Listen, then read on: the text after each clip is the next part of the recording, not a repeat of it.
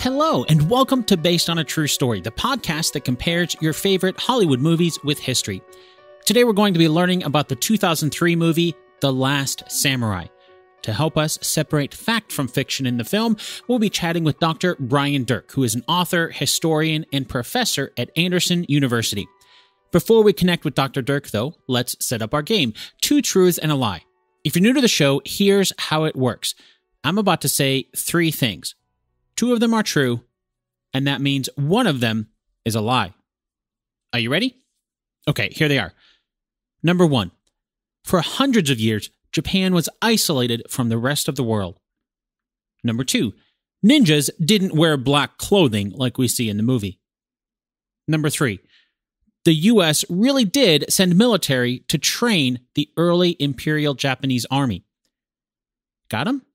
Okay, now as you're listening to our story today, your challenge is to find the two facts scattered somewhere throughout the episode, and by a simple process of elimination, you'll be able to find out which one is a lie. And of course, we'll do a recap at the end of the episode to see how well you did.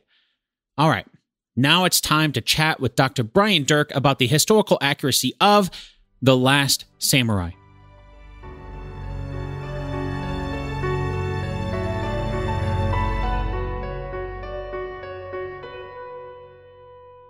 The Last Samurai isn't necessarily based on a true story in the same way that other movies that we've looked at, like Lincoln and The Conspirator. But let's start this by looking at the main character in the movie, Tom Cruise's version of Captain Nathan Algren of the U.S.'s 7th Cavalry Regiment. Was he based on a real person in history? Very loosely. I would capitalize the very on that, okay? The writers of the script were never entirely clear on this. So I've seen several different versions of this. The theory is that they were based on a Frenchman named Jules Brunet. He actually was a French attache to the Japanese army, and kind of like in the movie, he got caught up in a samurai rebellion and the uh, Japanese Civil War called the Boshin War. So he wasn't even involved in the rebellion in the movie.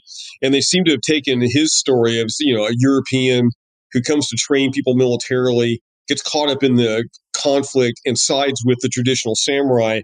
Uh, that's one theory. There's another theory that he also may be partially based on a couple of other Frenchmen who were kind of also tangentially involved. But yeah, I mean, that's it. That's the closest you can get to historical reality. There were no Americans directly involved in anything that the movie depicts, the rebellion and all that. Okay. Okay. And, and not to get too far ahead of the movie storyline where we're at here, but the person leading the revolt on the other side is Ken Watanabe's character, Katsumoto. Was he based on a real person at all?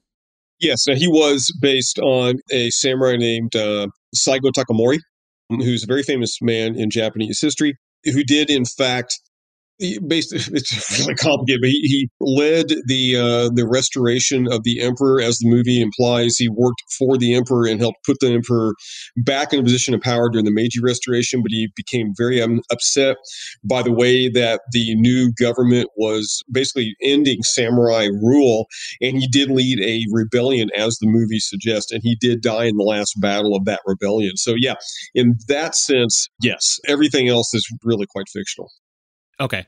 Okay. Now, early on in the movie, we do see Captain Algren get recruited by someone named Captain Bagley for a job with a Japanese man named Mr. Omura. We find out pretty quickly that Algren doesn't like Bagley because of something that happened during the Indian Wars, and we see some flashback scenes of, of, chaos. But the movie doesn't really get too far into that. So, can you give us a little more context around what happened during the Indian Wars that might have haunted a veteran like Algren? I thought that was one of the better parts of the movie, frankly. So, yes, they weren't real specific about the actual incident. It was a series of flashbacks. Because in the movie, um, Algren is a Congressional Medal of Honor winner at the Battle of Gettysburg. Assuming that the uh, conflicts with native tribes happened immediately after the Civil War, there were lots of those. The movie's never real clear on which one that is, probably deliberately. You know, they didn't want to get too deeply into it. And then, of course, um, he's supposed to be a member of uh, Custer's famous 7th Cavalry, who were slaughtered at the Battle of Little Bighorn, which is you know repeatedly referenced in the film. Custer himself was involved in the sorts of things that the movie depicts. American soldiers doing very bad things to Native American tribes, not being too terribly careful about whether they're punishing the right tribe or not. I think there's a line in the movie where uh, Tom Cruise's character says these people had nothing to do with what we're punishing for, and his uh, the, the guy he hates that says I don't care, we're going to do it anyway. That was quite common. It was a famous wartime slaughter in uh, Colorado, in which these are actually Colorado militiamen, not U.S. Army soldiers, who just came down and just slaughtered a group of peaceful Native Americans who actually had signed a treaty and weren't doing anything, and slaughtered women and children and did really, really ugly, terrible things. So, I mean, I thought that part of the film was really well done, um, just in a series of flashbacks. It's not hard to imagine, and in fact, I read some soldiers' accounts of soldiers rather like Algren in the film who were haunted by what they had seen and what they had done, what they'd gotten caught up in. The sense that I got from a lot of those flashbacks was it wasn't necessarily soldier against soldier, you know, military thing. It was like women and children and, you know, uh, just. Yeah. The big problem with the Plains Wars was finding the hostiles, you know, finding the, the Native Americans because they were superlative guerrilla fighters, what we would call guerrilla fighting. They would swoop down, shoot up a train, or whack out a settlement, or take out a small squad of soldiers and then disappear into the plains. And the same thing happened that we see later in Vietnam. American soldiers grow increasingly frustrated. They can't find their enemy. They really, I mean, if you read soldiers' accounts during the war, they really even saw Indians. They, they, they were just long gone, you know. And when they did find Indians, they had a tendency not to be able to restrain that anger and that frustration and it would boil over. And the sorts of things in that film that took place very much did take place. Just just freaking out and just killing everybody they can find. The timeline of the movie starts in 1876, and it suggests that at this time, Japan is trying to pull in some Western experts to learn from them. They mention like lawyers from France, engineers from Germany, architects from Holland, and of course, uh, warriors from America, right? Can you give a little more historical context around why this effort was going on to westernize Japan, why it was needed at all? Well, let me just preface this by saying I realize I'm oversimplifying this, okay? Or otherwise, this would be a hugely long podcast. Okay, I mean, I mean, it would just you you be going, okay, we got another hour to go. Yeah, okay. No, um, it's really really complicated. But the bottom line is this: um, Japan had been a highly isolated culture for at least the previous couple hundred years. Um, look at the geography; it's an island. You know, I mean, it's hard to get to anyway. Under the rule of the Tokugawa, Tokugawa shogunate, these are the shoguns that ran the country. They had imposed isolation. They had they know they had contact with some people, but most people couldn't go to Japan from other countries without permission. They really hadn't had much to do with the West at all. And then you get into the 19th century, and the Japanese are starting to be aware of. They, they've always had contact with the Dutch and the Portuguese, but then the Americans show up. Hey, how you doing? There's a guy named Matthew Perry. He is a commodore in the U.S. Navy and under orders from from the president himself sails some warships into um, uh, Japan. I forget the exact year. I think it's 1854, maybe. Um, sails sails in, drops anchor, has a lot of big guns, and says, you know, we don't really care for this isolation thing anymore. Okay, uh, we want to open trade. Uh, they also wanted to work, and, and this isn't as quite as belligerent as it sounds because there have been cases of American whalers who had been um, stranded in storms on the shores of Japan, and um, bad things had happened to them. And they were like, "Look, we want to protect our sailors here. We, we may have guys that wash up on your shore. We don't want them killed. Okay, just can we can we work this out?" This was shocking to the Japanese because most of the gun technology and the ship technology, they're looking at Western tech and they're going, "Whoa, we need to do something." About this because if we don't look up, we're going to look, look just like China because at this point China had been carved up by all the colonial powers, the British, uh, the French, the Dutch. They had all carved spheres of influence. China wasn't even a country anymore, and they were saying, "Man, if we're not careful and we don't westernize to a certain extent, we're going to be conquered the same way the Chinese are getting conquered." So there is this huge debate over whether Japan should westernize. And most people feel like some version of westernization is needed and how far do you go? And there were some people who said well we just need to learn how to how they make these big guns but we're going to keep everything else. But there were others who said look in for penny in for pound. If you're going to learn all the tech you got to learn the culture around it or you're not going to understand any of it so japan is embracing westernization, variety of motives, but largely out of a sense of self survival. We got to become involved here, okay? Because the world is not going to stay out. Look at this dude that just showed up in our harbor with a bunch of big guns. We're not careful. A bunch more guys are going to show up with a lot more big guns. Then what are we going to do? You know, so yeah, there, there's a real push to do that. Yeah, and the film I thought actually did a really nice job. That one opening scene where uh, Algren's landing and that just crazy hustle and bustle of a Japanese port town.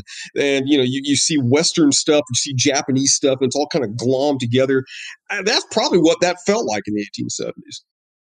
Now, one thing when Algren does get there, he's called in to train an army of conscripts. And I think there's some dialogue where he mentions oh, most of these are people are, are peasants who have never seen a gun. And then, of course, he's there to to train them. And the way the movie kind of puts it with the rebellion going on is the, the ancient and the modern are at war for the soul of Japan. And then, of course, you know, the U.S. comes to help train. Was the U.S. actually involved in training the early makings of the Imperial Army? Barely. That's one of the major um, artistic licenses that the film took. Because you got to remember, in that time period, in uh, the mid 19th century, the United States was not really considered, even though we just fought a huge civil war, the United States was not considered sort of the creme de la creme of military technology, know how, and training. It was the French. Believe it or not, the French. You know, we don't think of them as a big military power, but they were. This is Napoleon had just done his thing, and then the, uh, the, the the Prussians, the Germans, were considered to be the two countries that if you if you needed to go learn how to do war stuff in a modern world, go to those guys. So they weren't doing much of anything with the United States. It was all Prussians and Frenchmen that were teaching and training these conscript armies. Now, you mentioned that Japan was isolated there, but were, were, they keeping tabs on what was going on around the world to know that it was that to go to the Prussians, to know to go to the French, that kind of thing? Yeah, I, I almost hesitate to say that because that's the kind of common stereotype that Japan was a completely closed down country, and then all of a sudden Perry shows up and boom, the walls fall. It wasn't that way at all. They did have contact with the outside world. And they did, um, there had been, for example, a Dutch trade settlement near the port of Nagasaki all the way back to the 16th century. So they had had some limited contact with the Dutch. Um, they had some limited contact with uh, the Portuguese who were Roman Catholic, and they had uh, had some contact with Catholic missionaries trying to come to Japan to convert Japanese people to Christianity. So they knew about all of that. And they always had trade relations with the Koreans and uh, to the, with the Chinese, who in turn had connections with the Prussians and the French and all of that. So yeah, they weren't ignorant of the world. And there's, I would hate anybody to think that okay, because they're isolated, they don't know what's going on they got a really good idea. Now, they don't really understand nuances like the differences between a Catholic and a Protestant. That kind of throws them sometimes.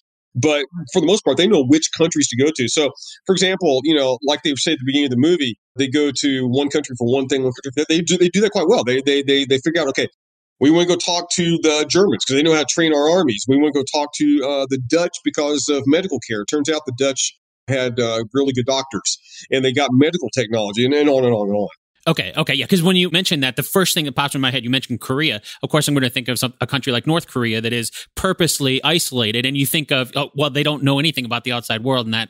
Um, but it sounds like that wasn't the case at all. It's completely different. Not at all. They do have contacts. It's just uh, the shogun in particular was really concerned about too much Western contact mostly because he didn't want the, the, Japanese to turn into China and he didn't want Japan to turn into North America because rumors had gotten back to the shoguns all the way back into the 1500s of the nasty stuff that the Spanish were doing to the Native American Indians, you know, and and the Dutch who are Protestants are, are egging that on, man. It's like those, those damn Spaniards, stay away from them because they're slaughtering the Incas and Aztecs. And they're like, dude, if we let these people in here, they're going to do that to us next. And who's to say it might not have happened? You know what I'm saying? I mean, because it could be that way, you know? Now, before we go too much further as far as the movie is concerned, I do want to ask about the samurai from an overall perspective, because there are bits and pieces throughout the movie that talk about their history. And I got the sense from the film that the samurai were seen as the protectors of Japan. I think there's a line where Katsumoto comments that they protected Japan for over 900 years. Is that a pretty good description of what the samurai really were? Oh, uh, no. One of the reasons this film had an ambivalent reception in Japan there are people who like this film in Japan because, as you know, it's a it's a highly, uh, one might argue, romanticized vision of Japanese culture in many respects. And there were people in Japan who said, man, finally, an American filmmaker actually wants to get to know us as opposed to just stereotype cardboard cutouts. So there's that. But there are a fair number of Japanese who reacted to that very thing you're talking about because Yes and no. The samurai had been the ruling warrior class of Japan all the way back to mm, roughly the 800s. Okay, they had been running. They were the warrior, the warrior clan. Protecting, yeah, in the sense that the two times that the Mongols tried to invade Japan, the samurai fought them off. You know, um, uh, two typhoons came in and killed them. It's a long story, but anyway, they did do that. On the other hand, the samurai ferociously fought among themselves for several hundred years and were not all that careful about things like loyalty and and and all the, the things you associate with the samurai. That's almost a, a modern invention. The original samurai would cut each other's throats man. They were they were trying to grab domains they were trying to grab power they were trying to do this and that. A lot of the japanese associate not all, but a lot of Japanese associate the samurai with treachery and with with backstabbing and with pursuing a naked military and warrior power. You know, now at the same time, they're also highly admired. My point is, it's not a yes no answer. It's highly ambivalent. Um, even today, I think a lot of people understand that the samurai were a lot more complex than that. Okay.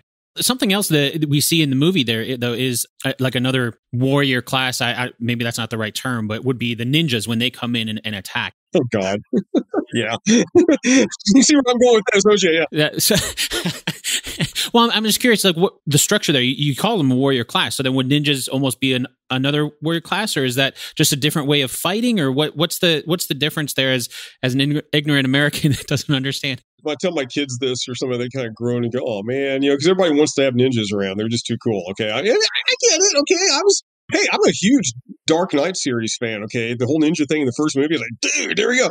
Okay, there may or may not even have been ninjas. Okay, there's a lot of argument over whether these people existed, but if they did exist, what they were were basically stealth assassins. Uh, employed by some samurai leaders against other samurai leaders who could infiltrate the opponent's castle, could infiltrate their town, and then by um, all kinds of activities. I mean, you know, swordsmanship was a small part. You know, a dagger, poison was a big one too. Could infiltrate and get somebody. Okay, so that's what a ninja actually was. All right, they didn't wear the black clothing. Okay, I mean, my God, can you imagine? I mean, you want to be a, a stealth assassin. But you're going to walk down the street and you might as well say, I'm a ninja. I'm a ninja because you're wearing the black clothing. Okay. But it's in every movie ever made that whole thing is actually a creation of um, pop culture in many ways a lot of the manga and anime and things in, in Japan and, and in the Western, we kind of picked up on that. That part of the movie, I, I cringed. I was like, guys, come on, man! You just make them into other samurai, dude. Let them let them wear kimono, whatever. Like it's not that, okay? So yeah, that part. Although I love the sword fighting in that scene, I was like, not ninjas, man, please. yeah, I mean they, they have their their ninja uniform. Yeah, yeah, yeah. It's like I wear a uniform. I'm an assassin. Everybody's gonna know what I am. I'm gonna do this anyway. So there we go. Yeah, yeah. Yeah, I could see as watching the movie as as a viewer, you have to be able to tell who's who. I get it, you know, and you, you know, you know, Dan, we've we've done these interviews before, and it's like I get that movies have to do things, but that particular one, I was thinking that's an unforced error. Why why do you have to drag that in here? Okay, I mean, Katsumoto is uh, about is people want to get him killed. Just have some guys come in and do it. Why do you have to dress them up like that? But that's Hollywood.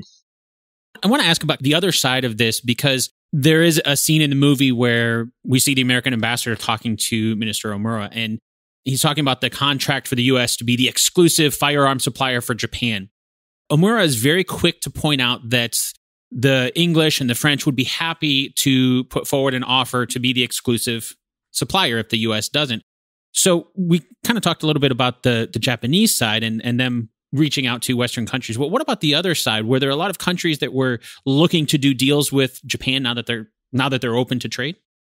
Yeah, and I should be clear too. When I was pointing out that the Americans weren't involved in training much the Japanese armies, they were involved in selling arms to the Japanese. Okay, so I'm going to make that distinction. They they were. I mean, you, the Civil War had just ended. There's literally warehouses full of American rifles. They were more than happy to sell them to the Japanese. So they, they were involved that way. So that particular scene's not bad at all, actually, because, yeah, I mean, the French, the English, other colonial powers are lining up to sell whatever the Japanese need. And arms would certainly have been among the list because that was in huge demand in Japan. They wanted Western firepower. Okay, and then I, I guess it, it, could make sense that once once they have these, well, we're going to have to have people come and, and train us how to use these. Sure, sure. But they would have gone to the French and the Prussians, though. They, they just they, they didn't go. In fact, the, the, the American army had a, a bad reputation at this point because they, everybody in Europe thought of the Civil War as a bunch of uh, American mob farm boys duking it out in the woods, not real experts. I mean, they really did. There wasn't this belief that the Civil War is going to produce the kind of experts that would give you a, a Nathan Algren to come over and talk, you know, good stuff to you. It just wasn't going to happen. Yeah, that makes sense. I'm curious about that though. You you talk about after the Civil War having a bunch of weapons and things like that. And something that is kind of a driver for Algren to go there is he needs money and he's i think in the very beginning we see him you know basically he's doing ads for winchester right he does these little performances was that sort of thing those sort of performances common for veterans after the civil war Sure. I mean, I can't think of any specific things that look like that, but yeah, you've got a lot of veterans from the war. The one thing they didn't point out was after the Civil War was over, these huge armies, um, everybody was sent home. A man like Nathan Algren, if he had stayed in the in the military, and it's not real clear what his status is in the U.S. Army, really in the in the movie, but you know, if the people that were hanging on to their jobs in the army, by and large, were people that desperate for money you could get a better job someplace else. They didn't pay well. And then once Appomattox happened and Lee surrendered, the overwhelming feeling was we're going to go home. So if Algren is still hanging around, it's probably because he doesn't have a job that can get him a living. And I think the movie kind of implies, he even, says at one point, it seems the only thing that I'm suited for is suppressing tribal leaders. And I think that was a nice touch because it kind of says, yeah, if he's still in this game in 1876, he's probably somebody that's tried civilian life and didn't work out. As part of the attempt to defeat the revolting samurai, the movie shows Omura passing laws against them. Uh, the movie doesn't really explain the specifics of what the laws are, but we see soldiers in the streets harassing Nobutada and cutting off his top top knot of hair uh, simply because he's samurai. Were there really laws that were passed against the samurai like we see in the movie? Oh yeah. When the emperor is restored to power and the westernization push is full throated late 1860s. Now, I don't want to make this seem too neat. It, it took decades, okay? But once the emperor's restored to power, they want to westernize. There was this sense that the samurai as a class, because remember, they were a hereditary class. This was not what came later in the 20th century when samurai culture was thought of as being Japanese culture. The samurai were a specific hereditary class who the feeling was had outlived their time. They were nice to have around when you've got civil wars, when they're, you know, when, when you, when you have wars to fight, but they had always had this ruling vibe where they ran the world. And there, there was a real sense of they, why do they have this? We don't need these guys having these kinds of privileges. I mean, it wasn't just things like the top knot forbidden to wear swords in public. That was a huge deal because the swords were the symbol of samurai samurai power. The samurai were restricted in because uh, you know you go back a couple hundred years a samurai if a peasant looked at a samurai funny he'd find himself headless in about 10 seconds flat. Well samurai couldn't do that anymore. You can't dispense your own form of justice here. I mean things like that. So yeah it was yeah that was very realistic. The bent that the movie put on it was it was tragic. You know that, that poor kid he's just trying to preserve his culture and look what they're doing to him which i'm sure that was true but there was also a sense of these guys have been pushing us around for a long time, and it's about time things got evened out. You mentioned swords, and I wanted because there's, there's, kind of a, a, concept that the movie pushes forward that the samurai were against using modern technology and their weapons and such. I think there's even a point where uh, one of the I can't remember who it was that says it, but he he, men- he mentions that Katsumoto refuses to be dishonored by using guns. Was that that push eh, towards modern technology, eh, modern as far as the 1870s were concerned, you know, guns and, and things like that, was that something that the samurai really resisted that hard? No, the movie got that totally wrong. They really did. The firearms had been in Japan at least back to the 16th century and in fact, there's some evidence that they had some more primitive Chinese firearms all the way back in the 15th century. But uh, like the samurai are practical warriors, okay? I mean, the samurai are trying to kill people and not get killed. It's a whole lot better to kill somebody when they're 100 yards away with an arquebus or a musket than have to get up on them with three foot long razor blade. I mean, these are these are practical men. No, they very much embraced firearms, and in fact, the man who eventually establishes the Tokugawa shogunate, which was for 200 years, Tokugawa Ieyasu, did so at least in part, and, and, and his, his predecessors, at least in part, they all were all very good at acquiring firearms and employing them more effectively than the people they were trying to conquer. So the movie really got that that badly wrong. There was a scholar who wrote a study here about 30, 40 years ago who claimed that. And he had ended up just misreading some scripts that seemed to claim that, but not. No, the samurai didn't have a problem with firearms. They used them all the time. Okay. Yeah. I, I, really got the sense that it was old versus new and, you know, new technology of, of firearms and stuff was something that they were fighting against. But that. No, the only reason Saigo Takamori didn't have guns is he couldn't get any. I mean, and, and, and in real life, the rebellion that he led one was a siege of a castle, and then a couple more battles. I, I believe he had firearms. I think I, you know it was it, it looked like a 19th century battle, although they also had swords at the same time.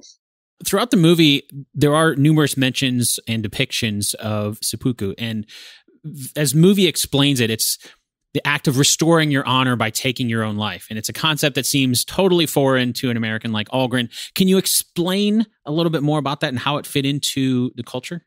Well, I'd, I'd, prefer not to commit seppuku. I don't know about you. So, yeah, I'm, not, I'm not pro seppuku. Okay, very, very much. Okay. And thank you for saying seppuku, not harakiri, which is a much more vulgar version of it. Okay, yeah. Seppuku uh, actually dates way back into the medieval Japanese period. The idea being that to preserve your honor, you take your own life. Or there are a lot of different origin stories here, but one origin story was a samurai warrior who's about to be uh, conquered by his enemies, decided to kill himself rather than be taken captive. And he chose purposely to do it in a very painful way. I mean, if you cut across your gut, that's going to really hurt. But the thinking was, this is the honorable way to die because you're not dying to escape pain. You're dying in the worst painful way possible to preserve your honor. So there's that. Ordering someone to commit suicide uh, has a very long history in, in samurai culture going back for hundreds of years. When I, th- I think of that, the, kind of the first thing that comes to mind would be in World War II. You see that you know the kamikaze pilots and things like that. Was that a similar concept? I got a bit Dan, I'm not an expert on World War II. I, you know, Civil War is my main thing in 19th century. Um, so the kamikaze, I wouldn't, I wouldn't want to presume to speak to their their motives, but um, from what I know of them, there was this sense of honorable sacrifice in battle. That was kind of my point. Yeah, that the, the idea of, of honorable death. Yeah, yeah, exactly. Yeah, I go, I can totally see that connection. Yeah, absolutely. Yeah, yeah. And you know, I got you know, growing up as a Midwestern white kid and reading stories about Japanese kamikaze charges in World War II and, and committing, you know, seppuku and all that, my my sense was, well, these people are nuts, you know. But as, as I've as I've learned more about Japanese culture, um, I, I I'm not saying I think it's a good idea, but I understand it. You know, I understand the thinking behind it a little bit better than I used to, and I, and, you know, it's it's all about appreciating another culture in a lot of ways in the movie, there is a point where we actually get to see the emperor, and I think uh, Algren and some of the ambassadors go to see him. And the idea that I got there was it's very, very uncommon for foreigners to be able to see the emperor. Was that really the case? Yeah, very much so. Yeah, the movie kind of pushed the edge of plausibility there. We have to remember the Japanese emperor is considered to be descendant literally from a god. Okay, um, not, I'm not talking about divine right monarchy in Europe, which is you know you have God and the king is the vicar of God. You know, God says the king enforces. The belief was that the emperor was literally God, uh, a God, one of one of many, but a God. If you go far enough back, you know. So you know there was a longstanding thinking that you don't get an audience with the emperor unless it's extremely special. And for that matter, even the shoguns. Um, if you if you saw the shogun and had a personal audience, that was an extraordinarily high honor.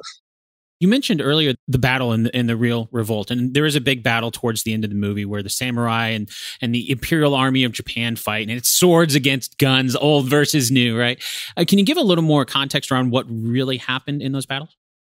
The real Saigo Takamori, who had been disillusioned with the emperor um, embracing Western ways more than he had wanted, led a rebellion that didn't do, go well. Not real clear what exactly he was planning to do. I don't think he he was not going to overthrow the emperor. One does not overthrow the Japanese emperor. Okay, you don't do that. Okay, but I think he wanted to march on uh, Tokyo and overthrow some of uh, the emperor's evil advisors. Okay, um, he actually didn't want to lead a rebellion. He had established a, uh, a school for young men to learn traditional samurai ways. Now, the movie does get that right. Uh, the original Saigo Takamori is a samurai traditionalist.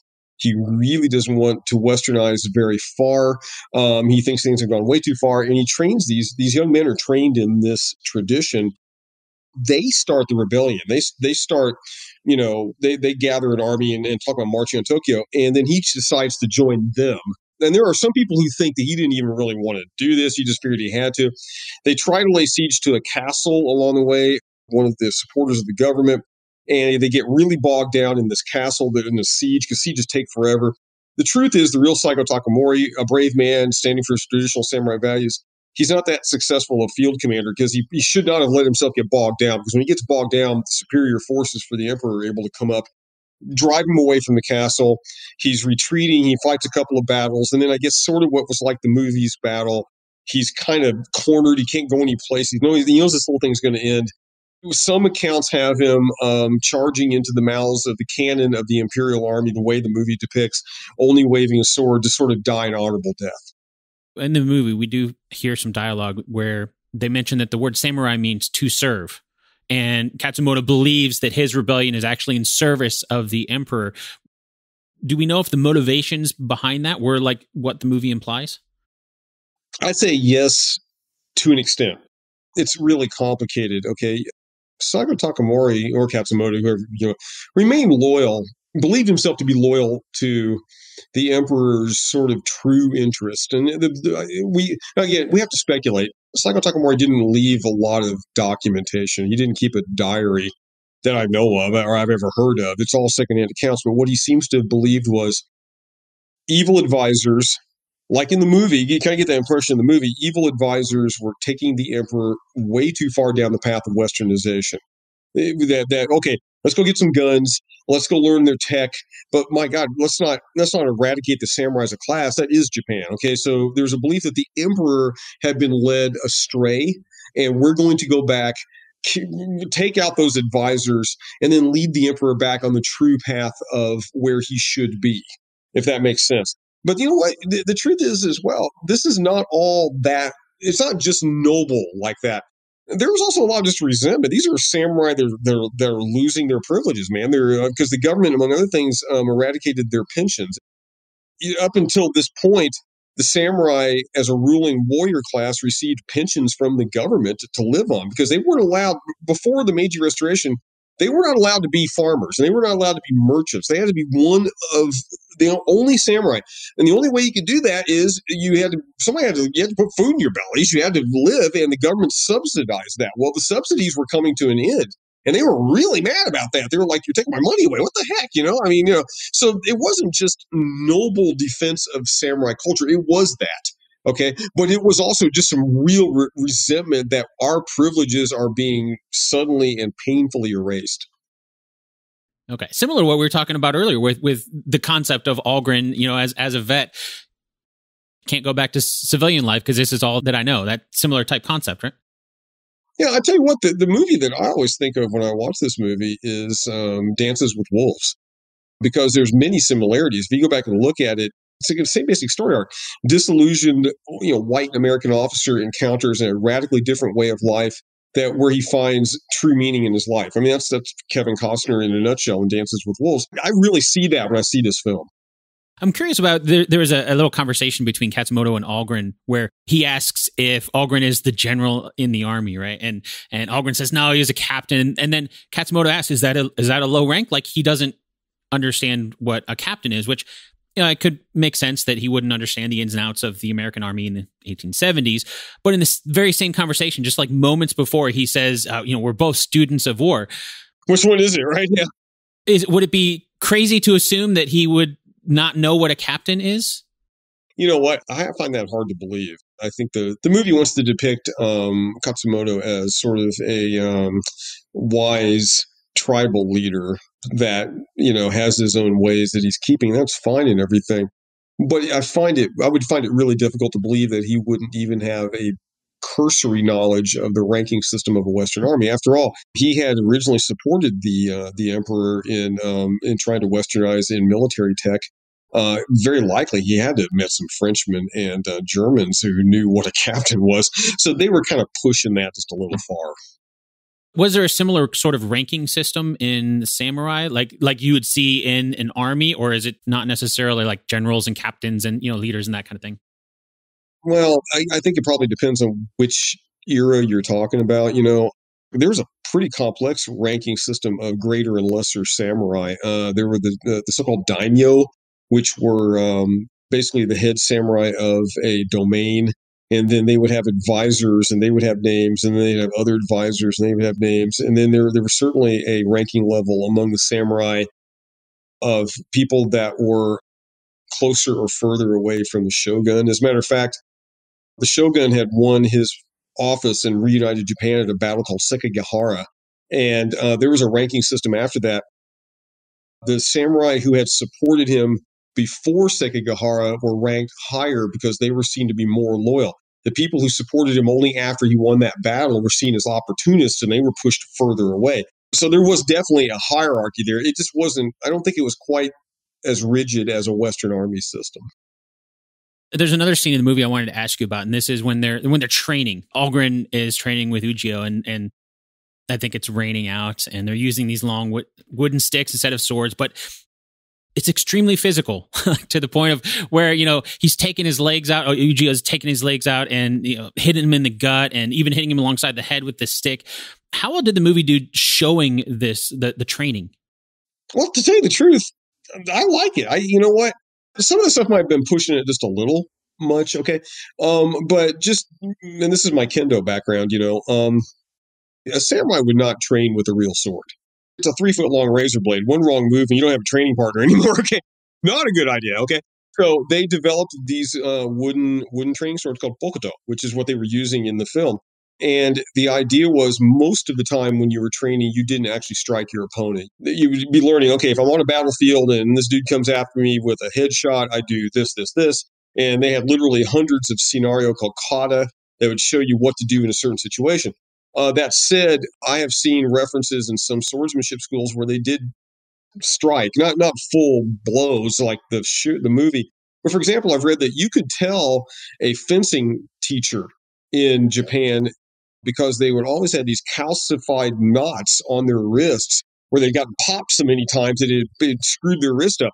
So yeah, you you could get hit. I'm telling you, the movie push that a little too far. You don't want to get hit with the bokuto like that, okay? You probably won't get back up. It's like a brain with a baseball bat, okay? I mean, uh, in the movie, I was kind of like, dude, if he had actually leveled Tom Cruise like that, Tom Cruise has made his last Mission Impossible movie, okay? Because it ain't going to happen after that, you know?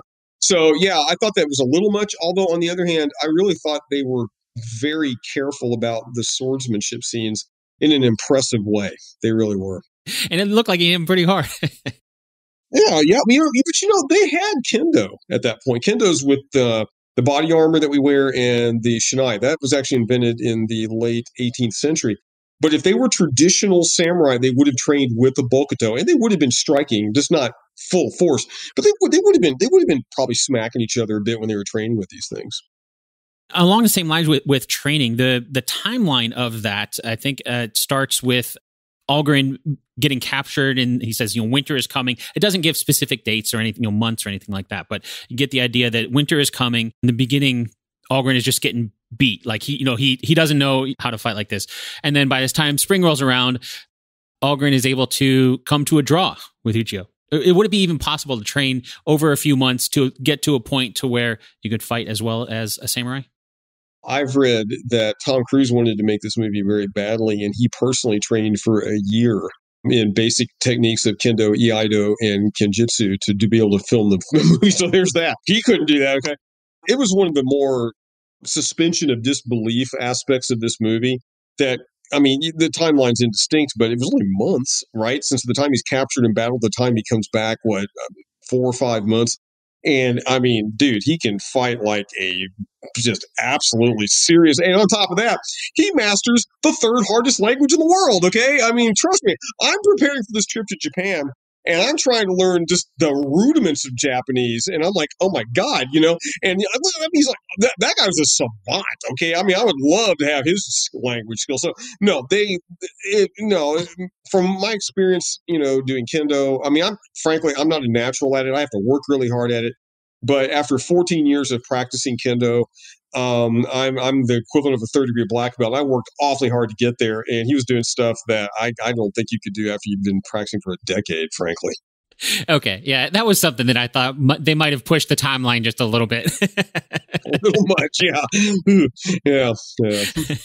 At the very end of the movie, we do see what happens with the treaty that will make the U.S. the sole firearm supplier for Japan. After Algren shows up, the emperor ends up he turns down the treaty, but he decides that yes, Japan needs to modernize, but we cannot forget where we came from. How well did the movie do showing this ending, as the movie implies, you know, the end of the samurai and, and modernization and all that? It's a movie, you know, they have to give you a, a kind of a neat ending. You know what I'm saying? It's a two hour, well, two and a half hour movie. You got to tie it all off. And I get why they did that, but the reality was far different and far messier. Really, the emperor went rather the opposite. Um, he fully embraced westernization. And in fact, from about the 1870s till at least the early part of the 20th century, there was a mania for westernization in Japanese culture. It wasn't just the empire. For example, um, I've read that um, there was a mania for Western poetry and Western literature to the expense of traditional Japanese poetry and traditional Japanese literature. You know, there was there was this general sense in the population that traditional Japanese ways were backwards and the West was, um, especially science and technology, were forwards. And if you are if you are embracing the old things, then you are somehow a fuddy duddy, uh, you know that kind of thing. That would change um, in the early 20th century um, when uh, Imperial Japan began to sort of embrace their version of samurai values as a way to unite the population and build Japanese nationalism. But at the end of the 19th century, it's a very messy process that you couldn't. I, I got why they did in the movie because I don't know how you'd put that in a movie. It was just it was a very complicated thing. Okay. Speaking of something I'm, I'm sure is going to be very complicated as well. If we look at the movie overall, kind of the, the concept is, you know, we, we talked about it somewhere. Um, Japan is is this isolated country, and so when Algren comes, it's just you know culture shock to him. And then we get a little bit of that the other way. We talked a, a little bit there with um, you know Katsumoto maybe not understanding what a captain is, you know, but we see some of that culture shock, you know, from the other the other side as well. What are some of the key cultural differences between the US and Japan that like did the movie i guess do a good job kind of picking out some of those cultural differences or were there other ones that might be some what you'd consider a key difference that they might come across? Yeah i thought i actually did a fairly decent job with that. I mean again it's a vastly more complicated thing than that. Um, and I'd, I'd, I'd hate to exaggerate the boundaries too much. Of course the japanese were aware of quite a few western Western isms. You know, they they had had contact with the Dutch for over two centuries. They knew the Spanish, not nearly so much contact with the United States um, for for various reasons. I mean, for one thing, the U.S. really wasn't a world power until after World War after the Civil War. So you know, they, they you know you, they they'd hardly met very many people from the United States, and the United States didn't much matter to most people until after the Civil War. Anyway, we're a backwards provincial place, that kind of thing. Um, so if you want to just kind of go down the line, I, the Japanese don't have a very good concept of like uh, the U.S. government structure. They don't really have a real understanding of our politics. As I pointed out earlier, it was still hard for the Japanese to kind of grasp uh, the differences between a Protestant and a Catholic because they have a very, very different religious structure that's rooted in uh, traditional Shinto and Buddhism. I mean, it's I mean, you're really mixing oil and water there, you know. So the, yeah, the Japanese had very uh, most of Matsumoto's or Katsumoto's uh, questioning of um, Matsumoto, I'm sorry, Matsumoto's questioning of um, of Dahlgren or Algren are are right. I mean, he would have been he would have not known. Maybe he would have known about captains and stuff, but there's a lot of things he would not have understood. Um, I actually thought they did a fine job of Algren's encounter with Japanese culture. You know, live, living in a traditional Japanese place um, you know, he's housed with a, a woman and he goes to help her and he doesn't understand the men don't do that kind of thing in the Japanese culture, you know. So I, overall, yeah, in terms of those personal relationships, uh, yeah, there was there was contact. They they knew of the um, of the United States, of course. There had actually been a mission to the United States in 1860 of a delegation of Japanese that traveled to Washington, D.C. to sign the treaty that Perry had begun in 1854. And of course, they'd met some Americans then, but that was really rare. It was just, it was very unusual for a Japanese person to have been to America and actually seen anything, and vice versa. Okay. The movie doesn't really mention this, but I'm just thinking of it from being in the U.S. today, where uh, we are seen at you know, especially you know after World War II, we are kind of seen as the the the military power, right? And so, with the movie obviously being created after that, I could see how they would just want to make it seem like the U.S. was the like the culture as far as the U.S. in the movie is post World War II, po- post this this aspect as opposed to the way it was.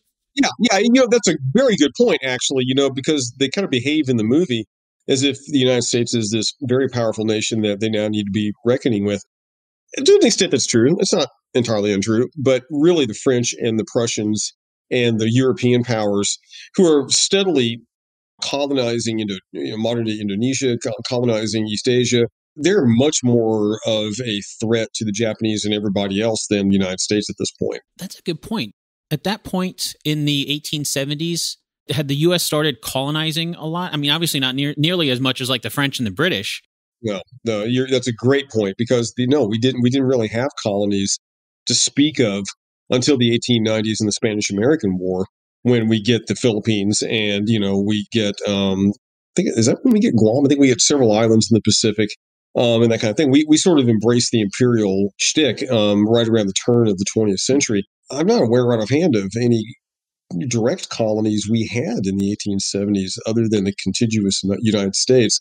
Alaska, of course, is purchased at about this point, you know, but that's about it. We're not really a, a, a colonial power yet. But, you know, the Japanese had every reason to fear that we would become one. And again, what scares them is, is China. China is a sad story at this point. It's not a unified country. It's been ruthlessly exploited by the European powers and the Japanese, who always had a heavy connection to the Chinese, were like, "Oh my God, we don't want to end up like them." You know, where we just we've just been occupied by a country with more technology and superior firearms. Okay, that, that makes sense. Being there right next to China and seeing what's happening to them. That's one reason why the, the Japanese in the early 20th century um, end up occupying Korea because they're really concerned that they need Korea as a buffer state between them and China. And it's not a pleasant occupation either at all, you know, but the, the, a lot of what you see in the Japanese in the early 20th century, especially, is a completely understandable worry about powers like the United States with all this technology basically conquering them, and they've never been conquered.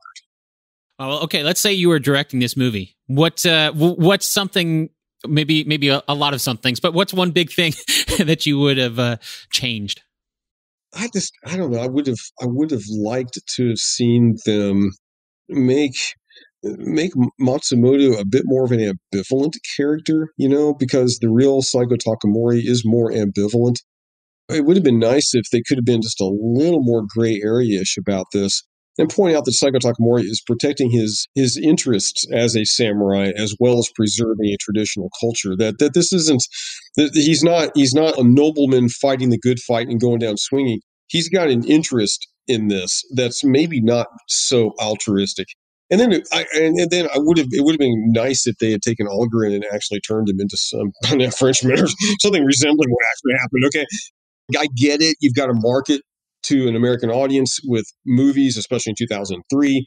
I couldn't help but think if this had been a Netflix prestige series like we have now, that would have been two or three seasons long, and they might actually have been able to do a better job with the multiple people involved. Because, like I said, there's more than one French officer who gets involved in this. It's actually a fascinating story. I, I just a two and a half hour movie is not going to do this justice. Thank you so much for your time to come on to chat about The Last Samurai. For someone listening to this who wants to learn more uh, about your work, can you share a little bit about your books and, and, where they can get them? Like I said, I'm not I'm not expert on Japanese history at all. I'm a, I'm a U.S. historian, but my expertise is the Civil War era and uh, especially Abraham Lincoln. And um, I've written quite a bit on it. We're on a first name basis now because I've written books. Okay, but uh, my latest book is uh, The Black Heavens: Abraham Lincoln and Death, and um, I'm looking at roughly the same period as The Last Samurai, and looking at how Lincoln processed issues of death and dying during the war. Great. Thanks again so much for your time, Brian. Cool. Thank you. Thank you.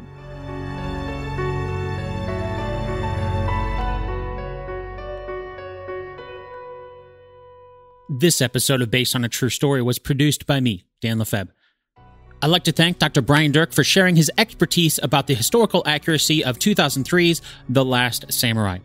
As he mentioned at the end there, Dr. Dirck's focus in history is actually the era around the Civil War, so the same time as the movie we looked at today. If you want to learn more about his work, I'd recommend picking up your own copy of his great books like Lincoln and the Constitution and The Black Heavens, Lincoln and Death. You can find links to his books on the show's home on the web based on a true story podcast.com. Okay, now it's time for the answer to our two truths and a lie game from the beginning of the episode. As a refresher, here are the two truths and one lie. Number one, for hundreds of years, Japan was isolated from the rest of the world. Number two, ninjas didn't really wear black clothing like we see in the movie. Number three, the US really did send military to train the early Imperial Japanese Army. Did you find out which one is a lie? Let's start with number one. For hundreds of years, Japan was isolated from the rest of the world. That is true. As Dr. Dirck explained, for a long time, Japan had been largely isolated from the rest of the world. That's not to say that they weren't aware of what was going on in the rest of the world, but they largely rejected a lot of contact with other countries up until the 19th century. That's when they started to realize they might run the risk of being conquered by a more technologically advanced country. So that ushered in the westernization of Japan. That brings us to number two ninjas didn't wear black clothing like we see in the movie. That is also true. Dr. Dirck pointed out that, for one, we're not even sure if ninjas even existed, but even if they did exist, they wouldn't be wearing the sort of black uniform that we see them wearing in a lot of movies. After all, their purpose was to be clandestine, and you do that by blending in with those around you, not wearing a ninja uniform. That means number three is the lie. The US really did send military to train the early Imperial Japanese Army. Dr. Dirck pointed out that in the 1870s, when the movie takes place, the United States wasn't seen as the world power that it is today. Instead, it was the French who the Japanese turned to, since this was about the same time as the Napoleonic Wars across Europe. That just about wraps up our time together today. Before we go, the last thing I like to do on each episode is to share how much time and effort went into creating this episode. I know that's not something that most podcasts do, and that's exactly why I'm sharing this information. If there's one thing that is surprising to most people who are new to podcasting or who have never created a podcast before, it's just how much time goes into creating them. So I figure maybe if you find out more about how much time and money goes into creating podcasts like mine, then maybe you'll start to appreciate all the podcasts you listen to for free just a little bit more. With that said, today's episode took a total of 31 hours to create and cost $14.21 in out of pocket expenses. As I always do, I want to make it clear that time and cost is only my time for this one episode. In other words, that 31 hours does not include the countless hours of my guest time researching the subject matter we talked about. It also doesn't include the time it takes for me to do podcast related things that are not a part of creating this one episode. For example, the time it takes to maintain the Based on a True Story website, uh, social media, the email newsletter, and all those other little things outside creating a single podcast episode that are still required to make a podcast overall. Similarly, on the expenses side, that $14.21 is just for things specifically for this one episode. It does not include all the podcast related expenses that go beyond making a single episode. For example, the cost of the microphone I'm talking into right now, the cables hooked up to the microphone, the audio interface, the computer, the software, all the podcast and website hosting costs, and on and on. All those things take time to set up and maintain and cost money that goes beyond things associated with this one episode. But they're all things that are required because if I didn't do those things, there wouldn't be any episodes of Based on a True Story at all. In a nutshell, this podcast may be free to listen to, but it is not free to create. And that's why I'm so thankful for the sponsors whose ads you've heard in this episode. You can find more information about them over at basedonatruestorypodcast.com slash advertisers. But they are not the only ones who are helping to keep the show alive. There are wonderful people just like you who are helping to keep this show financially going. So if you enjoyed today's episode, I hope you'll consider helping to support the next episode over at basedonatruestorypodcast.com slash support.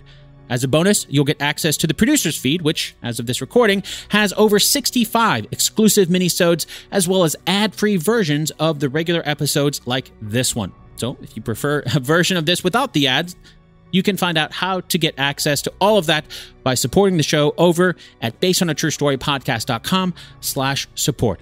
Once again, that's based on the true story podcast.com slash support. Until next time, thanks so much for listening, and I'll chat with you again really soon.